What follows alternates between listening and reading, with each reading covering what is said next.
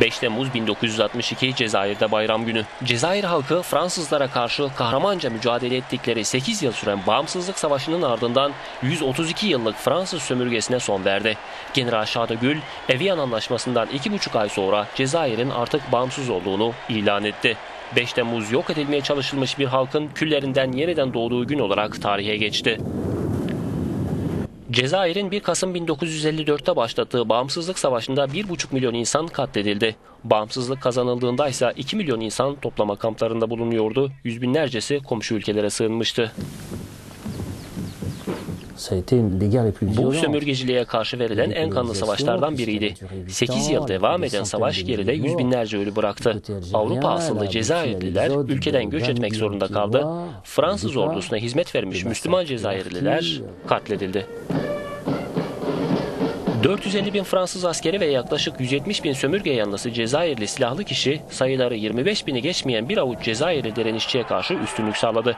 Ancak savaş her ne kadar Fransa lehine sonuçlansa da karışıklıklar devam etti. 1958'de yeniden Cumhurbaşkanı seçilen de Gaulle, Cezayir'e yaptığı ziyaretten sonra artık bu ülkeyi daha fazla sömürge olarak elde tutamayacağını anlamış ve Cezayir'in kendi kaderini kendi tayin etme hakkı olabileceğini söylemişti. De Gaulle'ün bu tutumu Avrupa kökenli Cezayirlileri rahatsız etmişti. Fransız asıllı Cezayirlilerin tüm itirazlarına rağmen Cezayir 1962'de bağımsızlığını kazandı. Sıradan bir yaşantı süren ve çoğunluğu orta sınıftan oluşan Avrupa kökenli Cezayirliler 1962'den itibaren yeniden Fransa'ya döndü.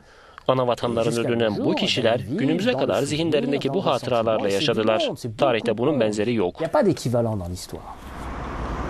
Savaşın bitmesinin üzerinden 10 yıllar geçti ancak Cezayir halkı bir yandan yakın tarihin zulüm ve tecrit dolu o yıllarını zihninde canlı tutarken diğer yandan da geleceğe umutla bakmak istiyor. Fransa ise bu kötü anıları tarihe gömmenin gayreti içerisinde. Zamanla her şeyin unutulacağını ve hafızalarımızdan silineceğini düşünmüştük. Ama durum beklediğimiz gibi olmadı. 50 yıl sonra bile Cezayir Savaşı hatıraları hafızalarımızda hala ilk günkü gibi duruyor. Bugün Cezayir bağımsız bir ülke olsa da hükümetler politikalarında hala Fransa'ya yakın bir çizgide duruyor.